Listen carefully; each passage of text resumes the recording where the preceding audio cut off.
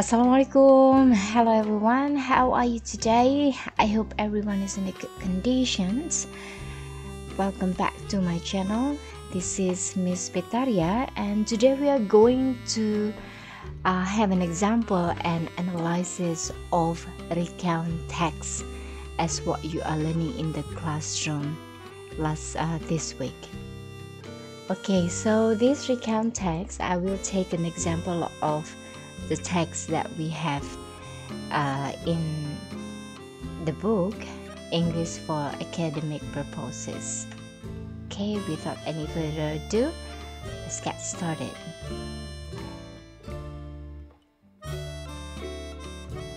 Right. Uh, sebelumnya kita akan mulai by having the generic structure of recount text. Ada tiga bagian dalam struktur text recount. We have orientations. Dalam orientasi ini, orientations, uh, we got the informations about the who and where what. Ya, jadi ada who was involved, what happened, where the events took place, and when it happened. Okay, the who and where what. And uh, in the following paragraph, we have the events. So we have what happened in chronological sequence. Jadi biasanya uh, ada conjunctions yang kita gunakan yaitu uh, salah satu di antaranya adalah sequence conjunctions yang menunjukkan urutan or chronological sequence. First, second, then after that sampai dengan finally, lastly, eventually. Ya. Then in the conclusion paragraph we have reorientation. But this is optional closure of events or ending. Biasanya uh, kita akan dapat mengetahui bagaimana akhir dari uh, cerita tersebut, dari teks tersebut. Was it a happy ending? Was it a sad ending? A bad ending or a good ending? Ya, jadi ada di reorientation paragraph. Tujuan dari teks recount ini adalah ya, recounts are written to retell events with the purpose of either informing or entertaining the audience or both. In a simple word, the purpose of recount text is to retell past experience. Kalian sudah tahu ya? Jadi tujuannya adalah untuk menceritakan kembali kegiatan-kegiatan yang terjadi di masa lampau. Nah, karena menceritakan kejadian di masa lampau sehingga tenses yang kita gunakan adalah past tense ya. Salah satu di antaranya adalah past simple tense. To show event started ended in the past. Jadi uh, sudah uh, berlalu ya, mulai dan berakhir di masa lalu. But as you do you remember dalam teks recount ini terkadang muncul juga bentuk present tense. Nah, catatannya adalah kegiatan yang dilakukan semuanya dalam bentuk lampau.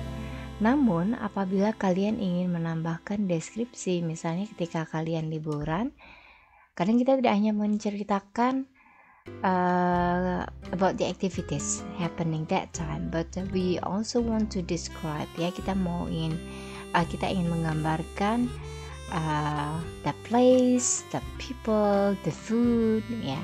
So in describing this, you can use present simple tense. Okay, jadi present simple tense penggunaan to be misalnya is am or or verb as itu. Okay. So I'd like you later to design dalam analisis teks kalian untuk uh, menunjukkan ya bagian mana yang menggunakan past tense, bagian mana yang menunjukkan present simple, dan mengapa. Oke, okay? ya. Yeah. So this is what I just mentioned. Jadi language featuresnya ya, using past simple tense, ada past continuous tense, past perfect, past perfect continuous, semuanya dalam bentuk lampau. Using temporal sequence ya, uh, penunjuk waktu, time indicator, uh, on Saturday, on Monday, on Sunday. Juga penunjuk waktu happening in the past, last week, last month, last year, a minute ago, two days ago, in 1991 seperti itu. Ya so please you can share also in your analysis. Apakah ada temporal sequence atau sequence conjunctions or time uh, past time indicator ya tolong ditunjukkan. Fokus on specific participant nah tadi who nya siapa? Even uh, probably the writer or the writer talks about somebody else ya. Specific participant Using the conjunction such as then, ini tadi ya yang sudah saya sampaikan juga, then, before, after. And using action verb because we are telling about activities happening in the past, ya, the action verbs yang kalian lakukan dalam bentuk lampau. Okay, let's uh, have a look at the text that you have already learned previously. Ya, kita sebelumnya sudah mencoba um, untuk menganalisis teks small gang di kelas. Nah, ini akan kalian lakukan nanti dengan teks kalian. Ya, so you decide the part of the text. Orientation, events, reorientation. Ya, orientation. Tadi ada who, when, where, what. Events. Kegiatannya apa saja, urutan kejadiannya, kemudian reorientations, the ending of the story. Orientations, yeah, we have the who and where what. Who, mall gang, the would-be robbers. Okay, and then when, last night. Where did it happen? The underground strong room of the central bank. What did happen? The would-be robbers chose a most unusual method of reaching their goal. Their goal, the underground strong room of the central bank.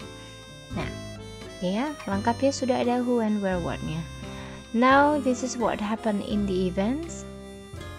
Let's identify the past tense verb. Ya kita identifikasi kata kerja dalam bentuk lampau. They followed. Oke okay.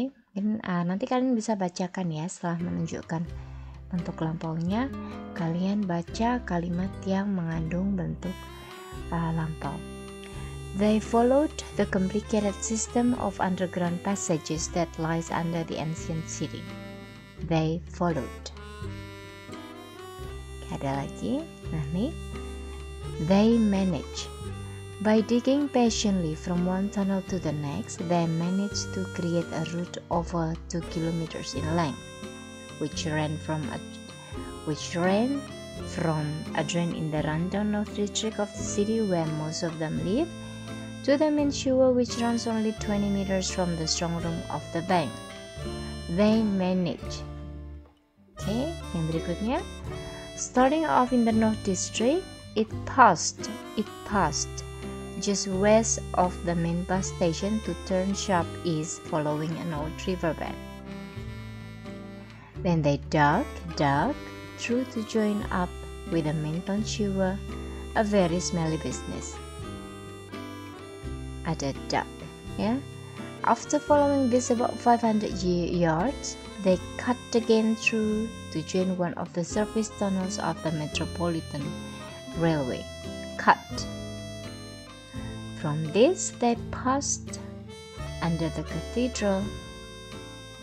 From there they went from there they went went along another underground river past the police station into the sewer near the bank and they were just were.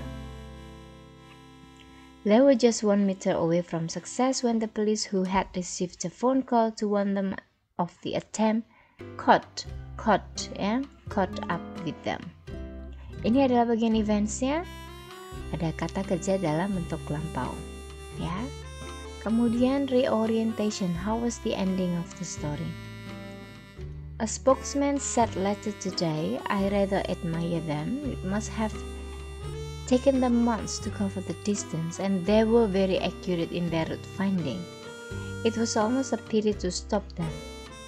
Of course, what they did not know was that since this sort of underground crime has become so frequent in recent years, the police now have a computerized, a computerized map of most of the tunnels that exist under the city.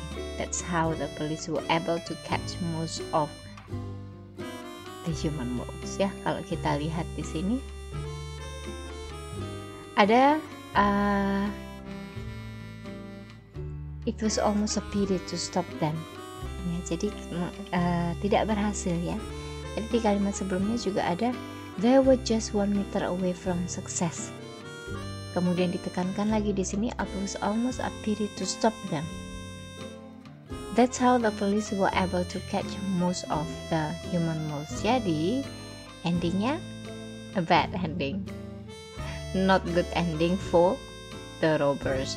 Oleh karena itu tadi di atas disebutkan the would be robbers karena mereka tidak berhasil menjadi robbers. Oke okay, ya? Oke, okay, nanti silahkan disebutkan orientation, events, and reorientation.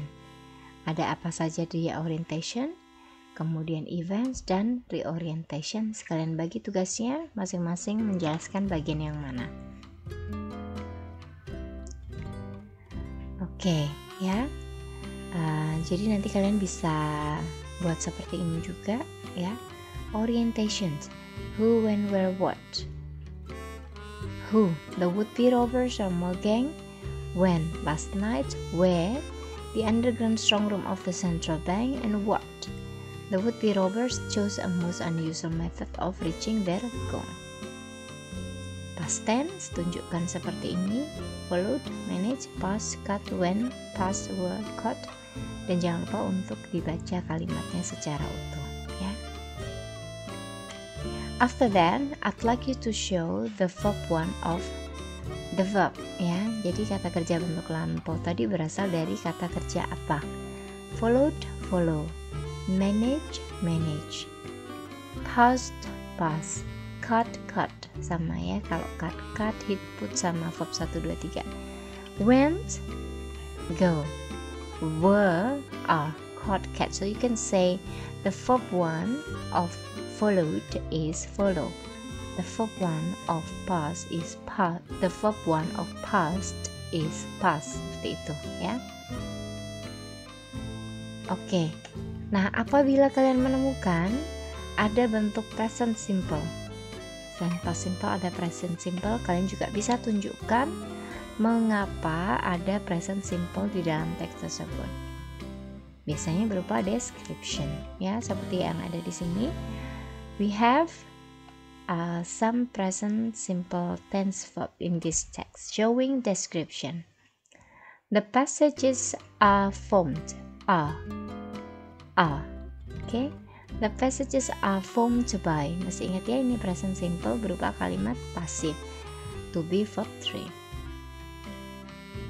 Kemudian di teks berikutnya ada juga which runs only 20 meters from the strong room of the bank. Nah ini kan juga mendeskripsikan tempatnya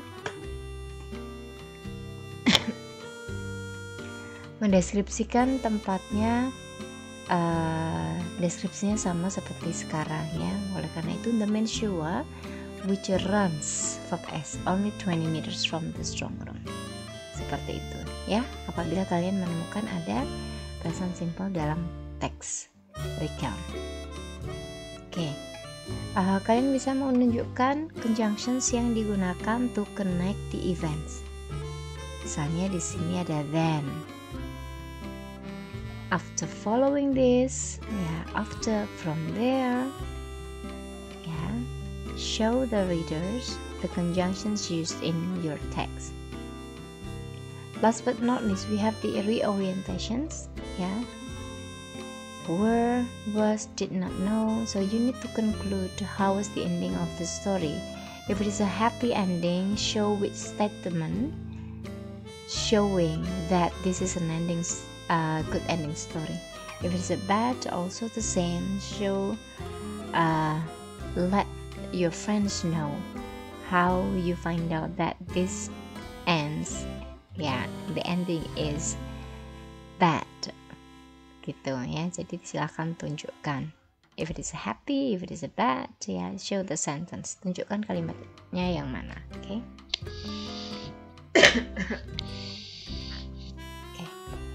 Okay, I think that's enough for today.